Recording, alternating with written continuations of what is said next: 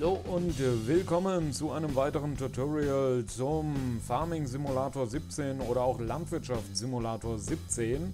Der eine oder andere hat mich jetzt auch schon angesprochen, wie funktioniert denn das mit diesem Ingame Radio? Wie kann ich da eigene Sender hinzufügen oder wie kann ich da eigene Musik hinzufügen? Dazu ganz wichtig, ihr müsst in euren Spieleordner gehen. Eigene Dokumente, My Games, Farming Simulator 2017, da wo auch der Mod-Ordner ist, eure Safe Game-Ordner etc. pp. Und dort befindet sich ein Ordner, der nennt sich Musik. Das klingt schon mal sehr verdächtig. Da gehen wir einmal rein. Hier könnt ihr jetzt zum Beispiel so wie hier mit dem Lied, was ihr gerade im Hintergrund hört, eine MP3 oder natürlich auch mehrere MP3s reinschieben. Ihr könnt aber auch Streaming Internet Radios hier hinzufügen. Da gibt es eben diese Datei. Die bearbeiten wir hier einfach mal kurz. Ihr seht hier mit äh, Sim Live Radio habe ich das hier schon mal gemacht. Also hier sind so drei ähm, ja, Beispieldateien.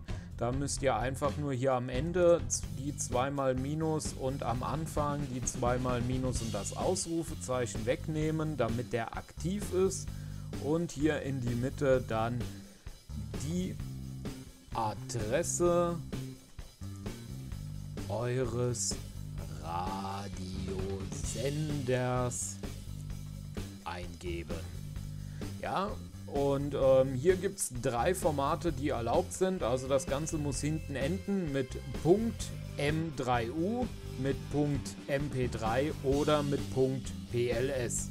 Das sind die drei Dinger, die erlaubt sind. Also einfach zu euren Lieblingsradiostationen gehen, auf die Website, dort schauen, welche äh, Streaming äh, ja, Adressen bieten die an. Wenn da sowas dabei ist, einfügen.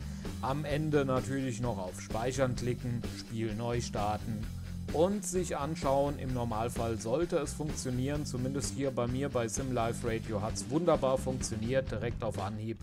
Und ja, ich hoffe, ich konnte euch weiterhelfen. Falls trotzdem noch Fragen sind, ab in den Kommentarbereich damit. Über Daumen würde ich mich freuen. Und äh, ich wünsche euch alles Gute. Ciao, ciao.